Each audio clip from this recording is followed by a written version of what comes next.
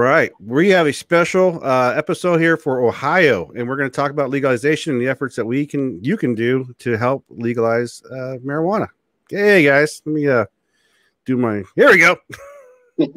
uh, Don, if you want to start, introduce yourself, and then we can lead around the uh, circle.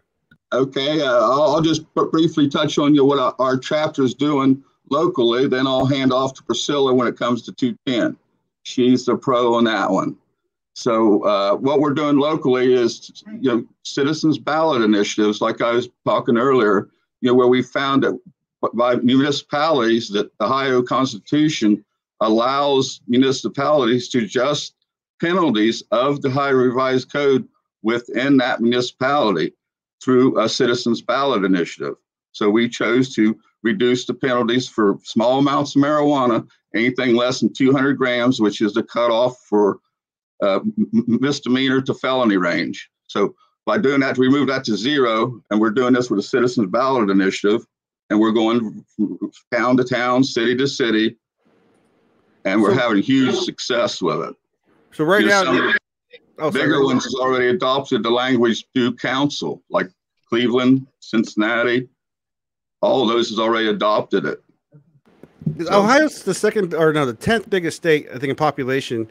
And uh, uh, this is the tactic you guys are choosing is to go county by county. Is, no, is that... city by city. Oh, city by city. Yeah, it has cool. to be done by municipality. There's only three counties that can be done as a county because wow. of the current laws. Because you, you guys did win a cities, but you can't do counties. There's three counties you can do. One of them's Cuyahoga. The other two I'm not familiar with yet. So that would be interesting because Cuyahoga covers quite a bit. local people can do. You know, you know yeah. I got a job. I work every day, and I still do these initiatives. You know, with a chapter. So, you know, if you have seen our Facebook page, you've seen some of our victory pictures, and and we've already got two uh, uh, initiatives completed this year with the help of SMC and MacArthur. So we've got two already in the books, and we're looking maybe at another three or four more before this cycle's over. Wow. So how many total do you guys city uh, cities do you have down now? I believe right now the count's at 23. Wow. That's got some of the major ones. And Priscilla, you're so part down of here in the southeast from Logan. We're mopping up the little towns. Oh, nice. nice. You know, that just goes to show you that those little towns. But, but the receptions, I'm, you know, everybody, we're having good reception about this. It's been really easy. Oh, you know, people what? register vote that wouldn't ever register. Because like, Ohio's a, a, a Republican heavy state, right? I mean, like DeWine, but it's so funny, you know. People look at red and, and, and blue, and I just think it's the stupidest thing, right? Like we're all Americans, we all want to be treated the same. Like I don't want you to be treated any less. Like I I go to a store and buy weed, and like I smoked this morning, and then I I, I walk past a cop, and nothing happens. Like my world is a hell of a lot different than your world goes. But uh, you know, as it goes, because you're Don, you're you've been doing like you said the the small states, and I imagine Priscilla, because you're a lobbying director, are you are you coordinating all the big cities? Is that what's going on? I, I did do um, Cleveland and I worked with Columbus and Cincinnati and Dayton as well. So I work more legislatively. I do help petition and do the campaign and signature gathering with the team. Um, my focus is pri- primarily on Ohio House Bill 210 right now and getting mm-hmm. lobbying and stuff like that situated for our mm-hmm. state. This is really more of like a people issue than it is a party issue. So it would be really nice if the state could eliminate the Democrat Republican side, which we are a Republican based state. But if we could separate the parties from this and really mm-hmm. focus on the issue that the people deserve this and the rights, the racial disparities, the inequalities mm. that have been happening around our state can really end by passing House Bill 210. So 210 is this going to be a medical or is this a, a recreational use? Um, so neither. It is um, a full statewide decriminalization. So oh. just like they did in the 70s, they decriminalized at 100 grams, their penalty and everything. So what we did is took the same decrim language um, that's passed in these 23 cities already. Um, so we got currently about 3 million people protected under this. Wow. We're asking the state of Ohio under House Bill 210 to now equal that protection. The people spoke. Now it's Yeah. time that they do their job and equal the protection for everybody in our state. Um, due to the racial disparities, we've also asked for automatic expungement. So if you've ever been uh, in charged or anything under the marijuana uh, Ohio revised code, we're asking them to automatically expunge. Hmm. And then another huge thing, um, this hasn't been done in any other state yet for decriminalization, uh, would include a 12 plant home grow per person. Oh my God. That is huge for the state of Ohio as well. Yeah. So how how much? Wow, that is that, that's huge. You know, and I really like how you guys approach it as far as decrim, right? Like a lot of these states who are getting pushback, it's because they legalized it, right? Like, and then the the a holes, the prohibitionists, the the guys who just aren't looking out for your best interest, they sue the state and say, well, that's not how you legalize it. A state can't legalize it because it's federally illegal. So the decrim aspect, wow. And then the uh, uh, the the home grow. So what kind of uh I mean, Don, you're seeing small communities, uh, and then uh, Priscilla, I imagine the cities, always the cities are, are always progressive. Like, I imagine as a whole, Ohio is doing like forward thinking, like, yes, we want this. It's going to be income, it's going to be money. a matter of fact, I was going to uh, uh, share with you guys an article that, like, because I mean, this is going to be a huge deal if, if, if that does happen. But, um, what is this? Uh, NORML put out there that legal marijuana has brought over 300,000 full time jobs, right? We're talking money. We're talking people's livelihoods, paying bills, electric bills, giving back to the community. I, I, I mean, like, what, how many industries are in Ohio? Like, what, because this would be a great, Ohio's a nice place to like go camping, right? It's not the, not the beachy de- tourist designation, but you guys have a nice uh, uh, countryside. And uh, I think like what other industries out there because this would be huge for you guys. You're saying the end the uh, marijuana industry, as of right now, it's just closed to the Ohio Medical Marijuana Control Program. Um, they've decided all the licensing and everything. They actually did just agree to do 73 dispensaries across the state um, versus we were at like 50. So that did just actually increase um, about 25 but other than that they keep it very limited right now. Um, and that decrim wouldn't change that honestly all we're doing is asking the state to really just like jaywalking in a sense you know how they don't ticket or fine they kind of just close a blind eye to it Yeah. um, so under this decrim we're really just asking them to not pay attention to marijuana such as a jaywalking ticket It, it, it just occurred to me too because I mean I smoke a lot of weed, but uh, like because you it says lobbying director in your title, and Ryan, you you talked about how the guys, the other guys are the ones that get the signatures. You're actually talking to the politicians, right? Like you're dealing with these, uh, uh, for lack of a better person, Matt Gateses of the world. Like like you're just saying like, hey, your constituents want this, right? Are you talking to the actual politician? And what kind of vibe are you getting? Where's where's the pushback? Like I know, like I just pulled up here the uh, Ohio. Uh, uh, uh, you guys' uh, legislator um, uh, website with the bill. And I know in Washington State, I don't know about this one. Uh, you can tell me if you know how to navigate it better, but I'm able to click on an issue and I can contact my, my legislators right away through that website. Are you able to do that? Can people contact your legislators through the website and say, I support HB 210? Um, I'm not 100% sure through that website. Now, I do know it is in the Criminal Justice Committee. So we are waiting for a response on that. Sure, sure. We probably let her uh, drive and be safe for a second there. Uh, uh, Jolie, uh, what is your role? You're, you, I'm sorry again. Uh, you said You earlier. said earlier. I'm just trying to catch everybody in, get a piece of the, the conversation because you guys are all NORML, but you're also Don. What was that? Sensible or, or Mike? The uh, uh, the the group, the bigger group. Sensible Yes, Movement Coalition. Okay, Sensible Movement both Coalition. affiliated. They're both pushing for the the initiatives, you know, to decrim from city to city, town to town. Okay, Um, so that's that that that's like Sensible. I said Okay. in the room earlier before we, we got on, you know, um, I'm loosely affiliated with them. You know, I, I got linked up with Don and, and, uh, you know, kind of just told him, Hey, I know Miggy, we talk. Um, it would be great to get you guys on the show to, you know, get the message out there to more people, you know, the more people that see it and hear it, um, and that you know we can inspire to get involved because that's what it takes. It takes the citizens because that's what this is, a citizen initiative, you know. And, and I understand the the apprehension with people, you know, nervous to get involved with it, don't want their name to get out there or tied to it, maybe because their employer or you know their spouse's employer you know there's a lot of different reasons that people don't want that out there but yeah. you know that's what it takes. You know it takes us to get out there in the public and make these connections because anybody can do it you know? In the grand scheme of things in ohio i'm not doing a whole lot you know? I try to go out and help get signatures. I try to make connections share information you know? Anything i can do to further the, these causes you know?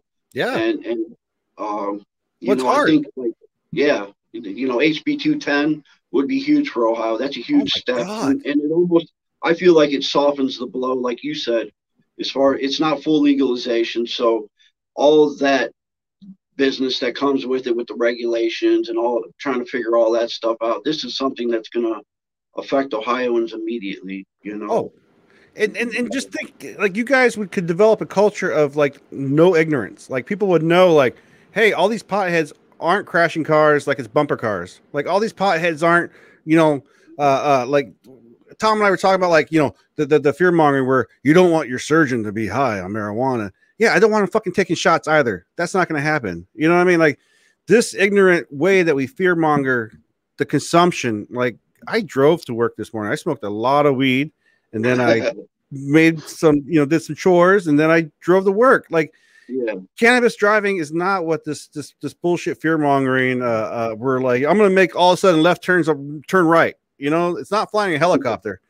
you know, Well, And, as archaic as these laws are, so is all, all the prejudices that come along with it, you know. And, and overall, I don't think that that's the general consensus in the public that this is a really bad thing. I think it's something that, you know, is, is perpetuated through, you know, the lawmakers and, um, you know, these old ideals, maybe, you know, who, whoever their predecessors were, you know, this is something that they're carrying on for them. I- I don't know. It's hard for me to make heads or tails of it because it's so ridiculous yeah, that we're here in 2021 and we're still fearing this. You know, when it's more than cigarettes, alcohol. I mean, sugar is more dangerous than cannabis. You know, it's like yeah, it's Well- time to end this. And then all the harm that, not only all the benefits that come from the use of cannabis, but all the harm that comes from the prohibition, it's terrible. There's more important things that need to be taken care of than busting somebody for wanting to use a substance that makes them feel better. You know, Priorities, right?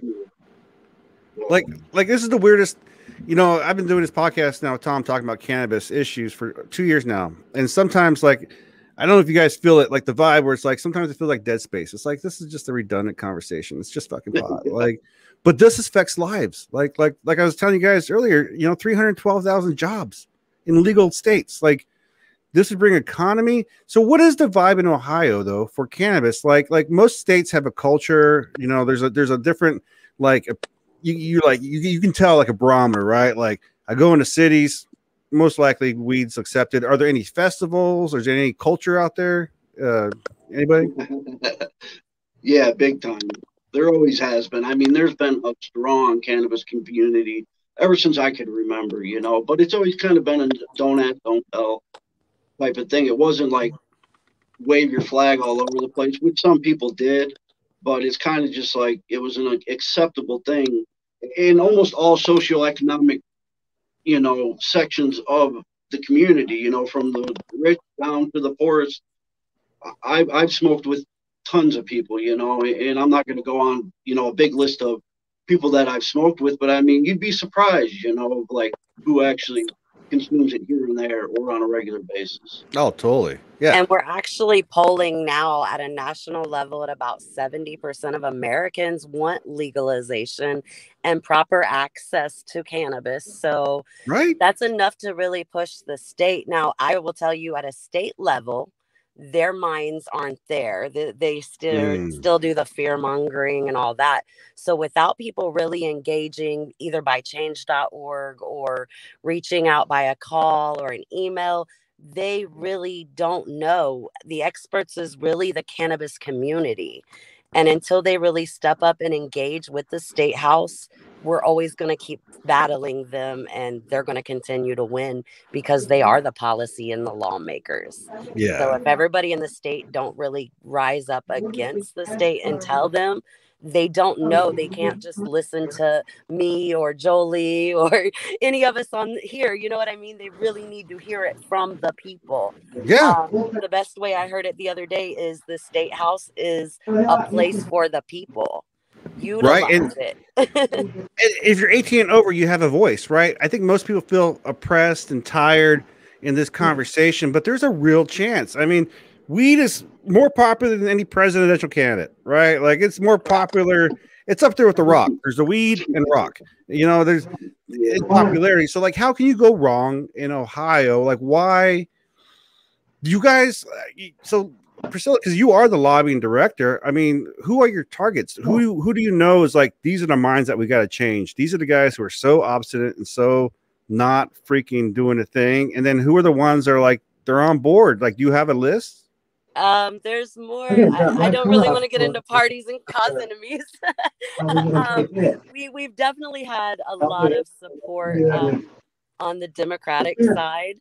Um, we've had some Republican support, but really Republicans, um, once again, they're making this a party thing about you need bipartisan support and really it's the the people if they would just listen to the people and take the party away. Listen to the people. This is the American people and what we seriously though. I mean, I mean, because like Don's doing the small, and, and and I see the it's a great tactic. You know, hit the cities, hit the small towns, because you know there's always that weight. Some small towns have the money. There's a lot of people in small towns that have a shit ton of money, and then in the cities, there's just a lot of people that have a lot of influence.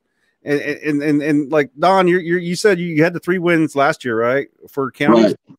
and yep. or, or yeah, and then so what are your because these people are their minds are changing they're seeing that this is not the drug that they're told that people are gonna like stab random children and kick puppies and yep. you know what is their other you know, I, you know I, I went door to door so i know you know pretty much in, in the smallest towns what to what they think you know and overwhelmingly people support this you know, you still get your uh, no, get off my porch and door slammed in your face and that kind of stuff still, but a vast majority of it is supportive, very much.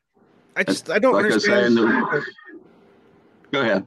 Oh, I was just say I just don't understand because like uh, you know I've never been to Ohio personally. Like I got a cousin that lives out there, um, but like I've been through parts of like that would be considered like the Appalachian type country, right? In Pennsylvania, Philadelphia, where I used to travel in the in the, in, in the country, and I, I, know folk, right? Like people who are gritty, uh, down to earth country folk. You know, these are the ones that are also the obstinate ones who don't want to like. It's okay to drink, but you smoke the marijuana. Like you would think these these hardworking folk would understand now. Like it's just the plant. You toil the soil. This is just another thing that you're given, and and we've been stigmatized. The the the plant has been stigmatized. Like what other conver- what what other talking points are you hearing though as far as like why not like are you I, hearing more studies i heard not really um the studies are really more on our side than anything at this point um, we've even had like a chief of police say how is it fair to say that we're going to do this to decriminalize for people but yet we're still drug testing and our officers could be fired or our fire department could be fired. So then you get into other issues like workforce protections and and rights for the people. So these are all things once again that our state just don't have answers for and we're all trying to get answers but it's step by step, just like the local cities. It took the local cities to even start the conversation at the state house. Oh, wow. So your strategy, you think, really helped to influence the the overall uh, conversation as far as knocking down. The, I mean, it's true. It's dominoes, right? Like I always joke that Prop 215, the California medical prop, was the gateway to legalization because everybody saw that California then collapse. You know, I mean, at least not because of weed. They got their own issues, but you know, eh, it's just ridiculous that this is such a stigmatized, uh, hateful thing because you're helping your people. You're and, and in your medical program, I know Michael's talked about before how it's kind of You know, it's not the greatest thing in the world, but and we really lack access for patients and then the funding for it. We run into patients that just don't have that kind of money and it's unfair that why why would they still be prosecuted if they had the same limits so the 200 grams still fall under the same uh, as the medical program for the 90 day supply, basically. So it's like, why not just give these people the same protection, whether they have a medical card or not? Let's just even the playing field all across the board in the state of Ohio. Seriously, though, I mean, like Michael was saying earlier, you know, I, at least myself too, I, I'm kind of like him, where I've been volunteering in a bunch of organizations, but I've never like paid dues. You know, my dues are my time, right? You give, or, or your your physical sacrifice of actually holding a little boar at the at the parade and shit. But not everybody can do that. The most valuable thing to an organization is when people give their time. Right, but and that's the thing is like for you guys for HB two ten, which would be a wonderful bill to pass through. Uh, there's got to be way. I know like NORML sometimes when they have a campaign. I don't know. Maybe you guys, since you are NORML, you can talk to the the, the headquarters, but they have coders that are able to create that. Like I was saying, you go to the website through the, your legislation, it'll click one click, and then you can hit all your people in, in your district in charge of you. Yes, we've already been approached by National NORML with this very thing that you're talking about, and we've got it. We'll be setting this up really soon. They've nice. offered to set us up with this type of system, just like you mentioned. And currently, right now, if they do go on the change.org um, to support House Bill 210, um, that will automatically go to the led the people that it needs to go to in the committee uh, to show the support of the people that signed the change.org. I forgot about change.org. Yep. Let me look that up real quick. Well, the one for national will go directly to the representative. Correct. This does too. It, it goes to all the representatives yep. that we personally picked. And I mean that's going to be huge though, and that's like what, what Michael was saying earlier was the, uh, you don't want to put your name on stuff. People are afraid, and, and we're we're past that point. Like you know, honestly, when you do these things through the the government website, the only person that's going to know that your name's on something is that is your constituent, is the person your legislator. That's that that's who's going to know. And if that goes any further than that, you already have the wrong person in charge. Correct. you know, I can't find the change. Oh, good, bro. Uh, I, I think something that also helped, you know, definitely here in the past few years, kick the door open for legalization is hemp. You know, the legalization in many states for hemp, and I think that, you know, that that's been a gateway for a lot of people that previously maybe didn't know nothing about cannabis or wasn't educated on the endocannabinoid system or all the benefits of it. They start to learn, you know, because it's like you Google the benefits of CBD well, cannabis is going to come up. A whole lot of things are going to come up. And then, you know, if you read this stuff, you're going to scratch your head and say, well, wait a minute here. This doesn't sound so bad, you know? And then I think also what's so important with them going city to city, town to town is I believe that puts a lot of pressure on these politicians because they can't ignore that. You know, those, those numbers speak for themselves. The support speaks for itself. And, well, it, and, again, a lot of people don't want to call their legislature or they don't want to put their name on something. They're nervous. But the ones that do, you know, it's it's time to nip this in the bud, you know, and that's how how I feel about it. It's like I want to push to try to get as much information about this out as I can because you know, while we have this momentum, because I see in Ohio right now, we have a lot of momentum and a lot of great people that are, you know, in these positions to have this put out there, this information, you know, HB 210. A lot of people don't know about it. Mm. I hmm. can't, I live in Cleveland. I can't tell you how many people I've talked to that, you know, we'll be talking about cannabis and then I'll say, well, you know, at least it's decriminalized in Cleveland. They don't even know. They have no clue that it's even decriminalized in their city that they live in, you know. So and that's why sometimes the conversation gets stopped, right? Because some people are just happy enough to have their circle, just happy enough to, to have their weed and, and, and like not care. Like it, I got mine, I got mine, so it's okay. But you know that that's why it's important to speak up and volunteer and do the things. And you guys have so much momentum. Like with the small towns, I didn't realize like how what a what a what a, what a, uh, uh, what am I gonna say uh, an angle of attack, a plan. You know, it, it's it's a great plan. You know your state, and you're you're making it happen. The only change.org I could find was the uh, Declaration of Support for uh, the Ordinance in Portsmouth, which I imagine is this how you guys been doing things? Like this is pretty freaking cool. Oops, wrong one. Um, go back. so like this this change.org is this how you guys been doing things you guys been doing a, a change.org to get the uh, message out for those certain towns no actually portsmouth was the first um, change.org that we had utilized um, we had been down to city council in portsmouth and petitioned twice and failed with the initiative process so we approached council again. Actually, council reached out to us on the third time and said, you know, I'm a new councilman. I would really like to see this passed. I seen what you guys were trying to do. So they welcomed us down uh, to really. We had a one councilman that was really giving us a hard time about everything. So I focused on his ward, uh, went around the city, nice. got the signatures just in his ward. That was the only one that he was like very no. Sure. Um, we still honestly we deserved that yes vote at the end of the day from council. It was still, however, shot down once again.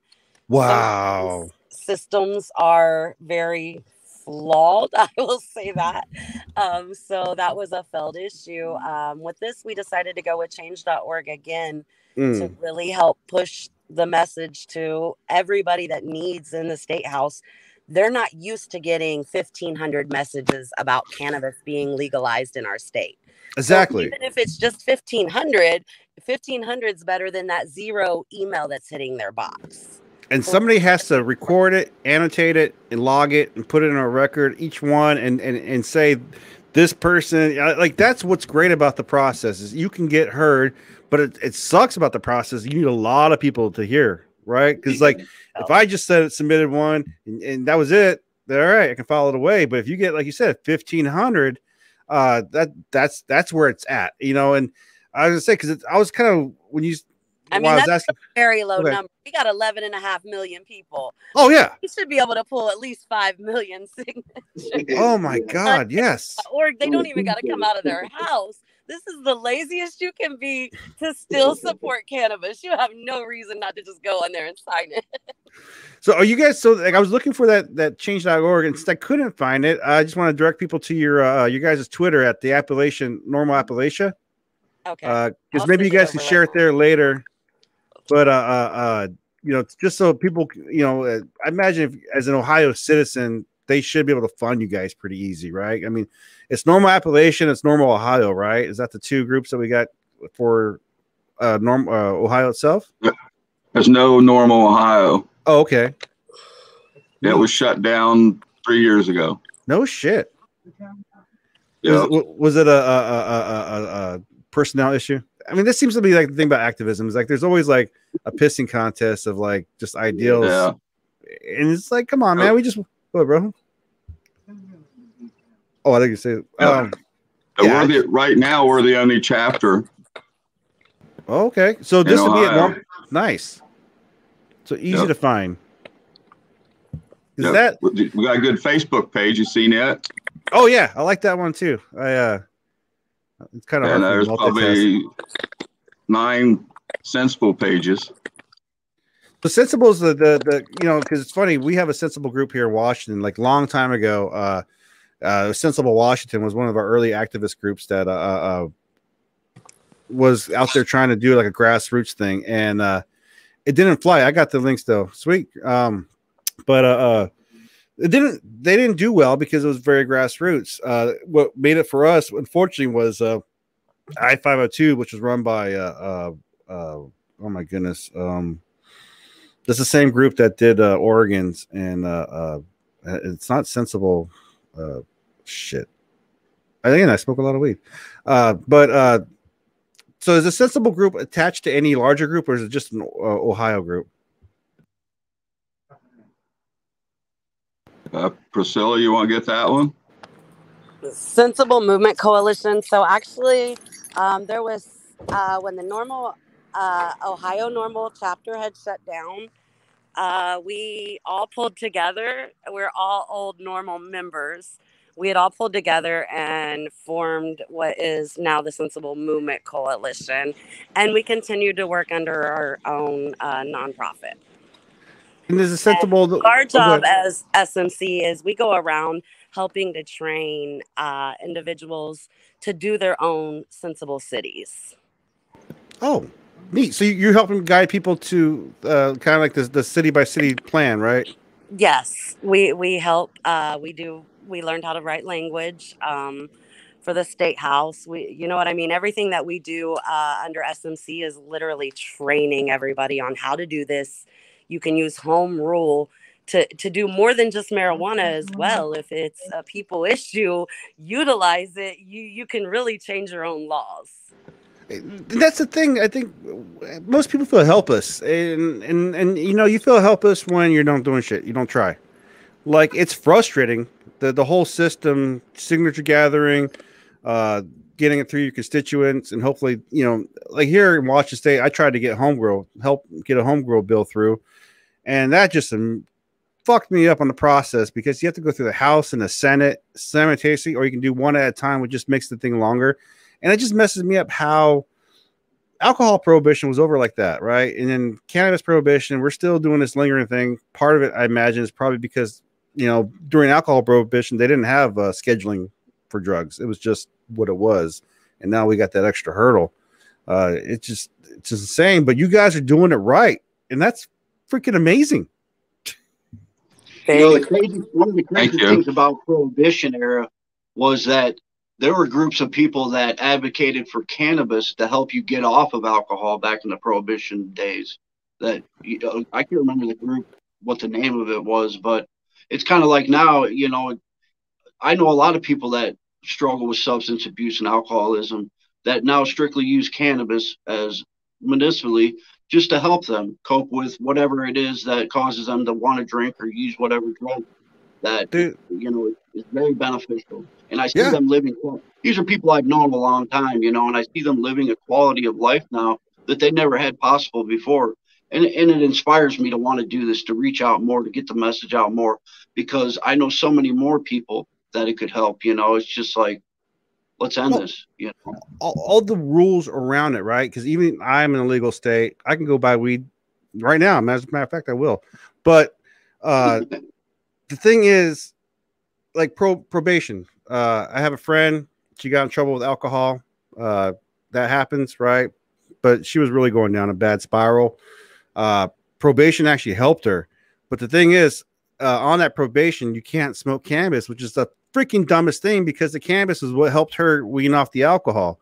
And so yeah, and then luckily the, the pandemic kicked in, so there was no in person meetings for a while, so she could smoke cannabis throughout the whole time while she's been doing this whole probation, and it's helped her. And now as we're getting toward the end of this shit, she's like, "Fuck, I, I, I don't, I'm doing good." She has been doing great as far as the drinking goes. So I feel like we live in this upside down. Not only the law on how we can take away your rights and your toys and your your livelihood, but also when you do get in trouble, and like what we're like no the fun time police like this is obviously something that makes you feel better so you can't have it. What thinking is this shit you know? It's exactly. yeah yeah it's just a crazy upside down. Uh, Don, what's are even okay. showing that the opiate and uh, alcohol and all that? Cannabis is helping with that. So the statistics they're there for them Oh, especially in legal states, the statistics show that the people with an opioid, the, the the alcohol has all gone down in all the legal states because you have a safer alternative.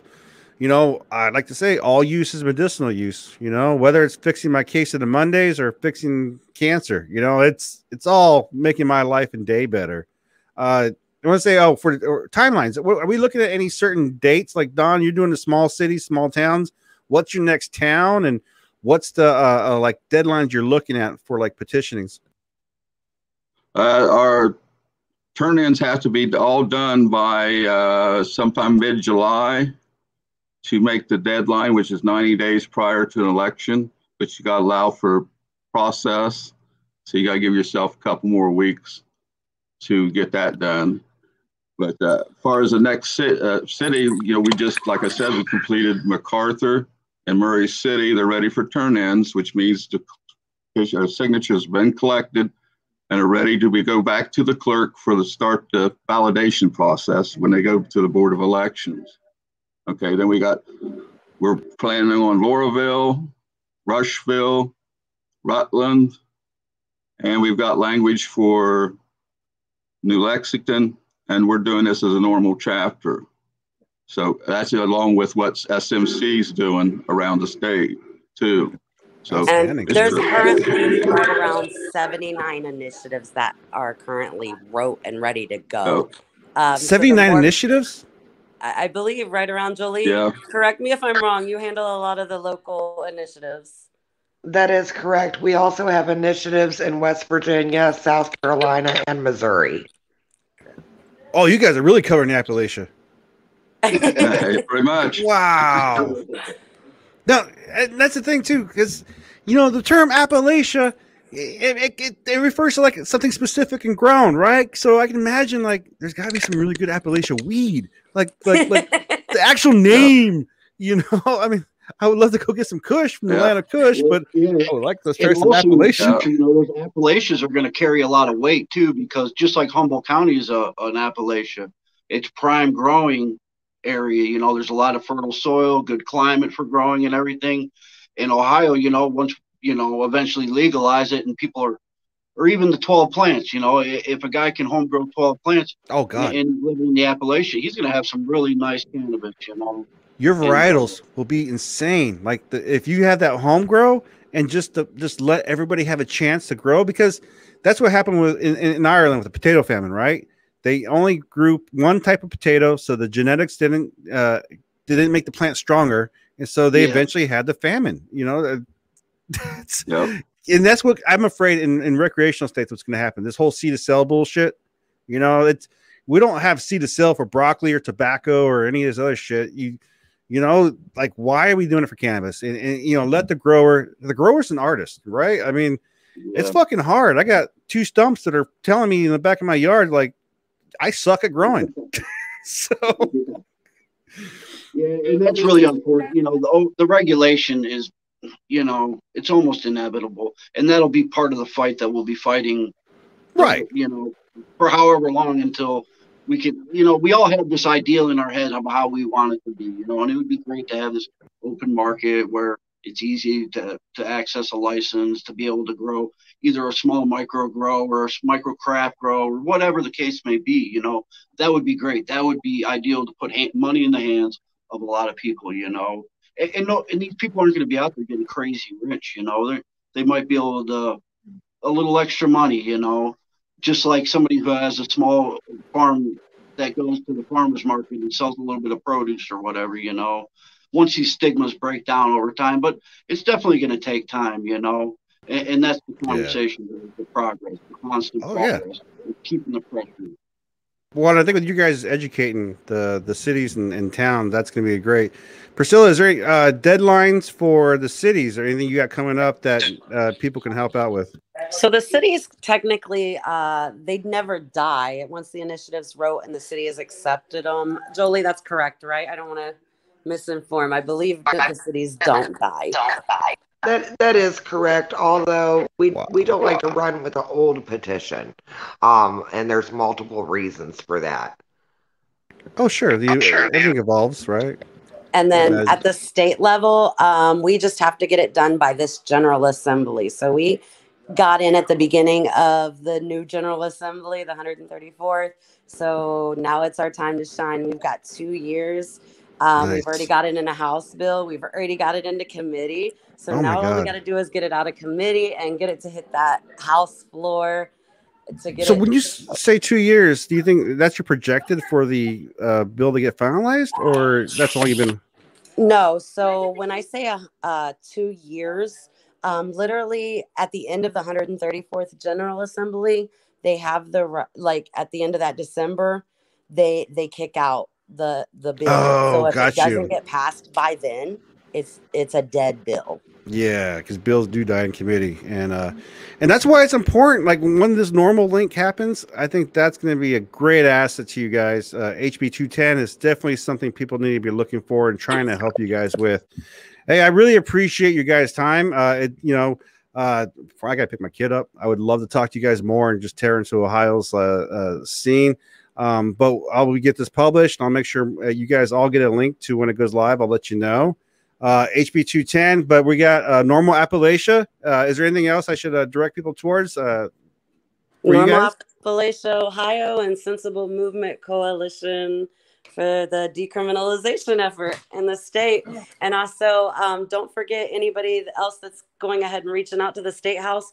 There's also House Bill 60, which is to put autism on as a qualifying medical condition. And that's very important in our state as well. So if you're going to take the time out to support 210, take that extra few minutes and support House Bill 60 as well. That's a great one. I have a friend in Idaho, uh, Tiffany Carlisle. I think her last name is. She'll, I she'll- very, I met her. I love her Okay. death. She's amazing. Yeah. Oh, awesome. So you know she's full on. Yeah, awesome. The the whole autism. There's a support and everything. I mean, again, qualifying conditions. It, it should be everything. It should be. I, I stood up and breathed. That should be a qualifying condition. But let me uh, just click at the end here. I appreciate you guys. Thank you. Thank Thanks a you. Thank you for Thank having you for us. having us. Thanks, everybody. No problem.